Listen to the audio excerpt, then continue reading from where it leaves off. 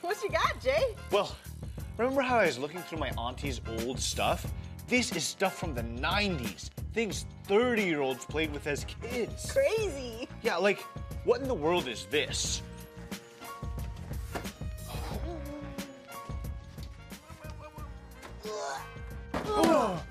I don't know. Let's plug it in and find out. Uh,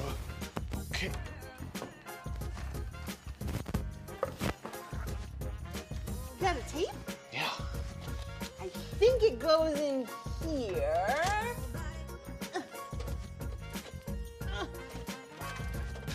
Ooh! It ate it. I'm scared, Emma.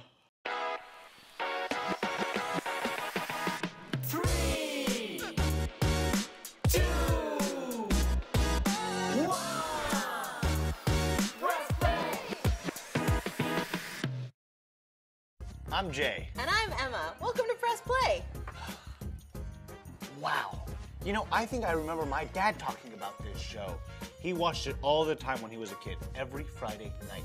Oh, is this one of those 90s sitcoms where they have a problem and then everything works out perfectly in 30 minutes? It's so predictable. I bet I can tell you from the first 30 seconds how each episode will end. Okay, well, what about this one? Hmm. Easy. The main character is gonna cheat on a math test, get a perfect score, get so much praise that they feel guilty, and confess. Uh, well, okay, let me see. I think this is how you fast forward. Oh.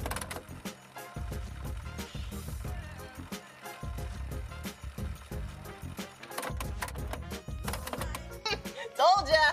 Uh, uh, okay, okay, okay.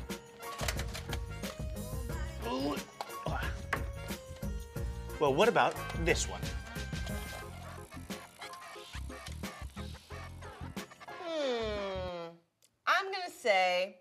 Main character gets in a fight with a neighbor, gets a black eye, tries to cover it up with mom's makeup. Mom finds out, forces the two to make up and work it out, and they realize they have a lot in common and then become best friends. Okay, well, let me see.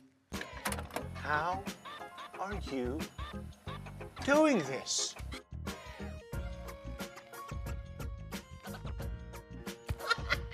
What can I say? I have a knack for predicting 90s sitcoms. Well, there's only one real way to see if they're as predictable as you say. I'm game. Let's do it. Three, two, one, press play.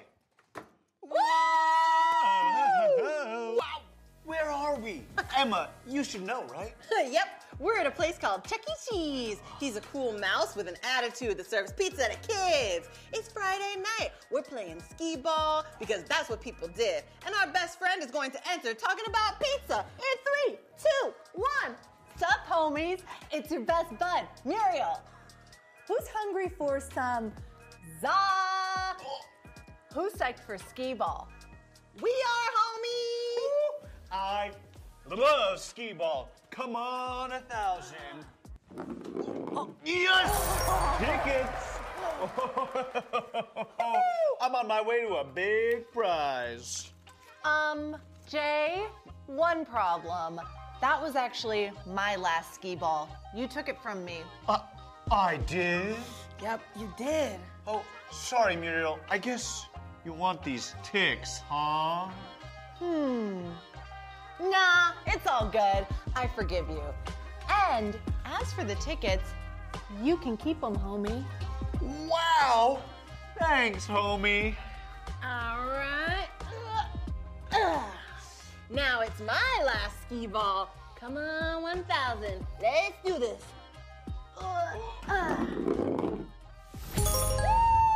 Oh, um, wait, wait, wait. I think that was actually my skee ball. Are you sure? Well, I'm sad in an exaggerated melodramatic 90s sitcom way, so I'm pretty sure. Which means those are my ticks. I'm gonna use them to buy the biggest teddy bear in the mall, and I'm gonna name him Teddysaurus Rex. Gimme! But Jay, remember how I forgave you? Yeah, Jay. Seems like you have a decision. Hey, Muriel, doesn't this remind you of a story? Wait, did you know that this was all gonna just happen? Maybe I did, maybe I did. It sure does remind me of a story, a fly story from the book of Matthew, chapter 18. Here comes the lesson. Huh? Huh? Oh, nothing. Please continue. Cool beans. Well, Jesus was teaching his friends about what the kingdom of heaven would be like. And he told them a story about a king and his servant who owed him a lot of Benjamins. Benjamins. Cash money. The servant couldn't pay, but as it turned out, the king was all that and a bag of chips. Cool. The king was cool. Oh, he forgave the servant all of the money that the servant owed. Said he owed him nothing. Pretty fly, huh? Very fly. While the forgiven servant was getting jiggy with it, Na na na na na na. he came across a man who owed him money. It was nowhere near the amount that he had owed the king, but he wouldn't forgive the debt when the man couldn't pay. Instead, he had the man thrown in jail. Homie was bugging out. As if. I think I'm getting the hang of this thing.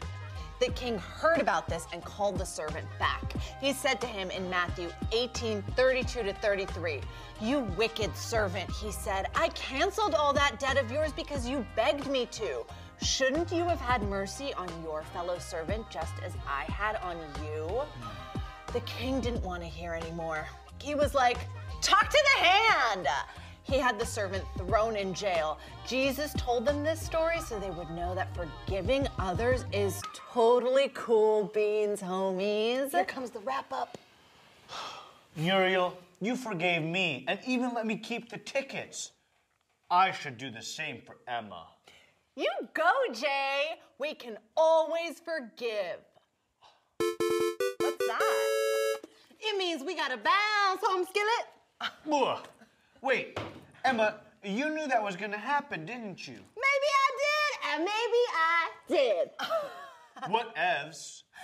Well, everything wrapped up nicely, didn't it? Sure did, Muriel. It sure did. Secret handshake time?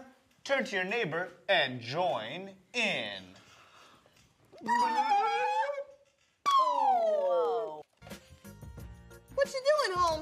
Well, I'm putting 90 sitcoms away. Your knowledge of them is something else.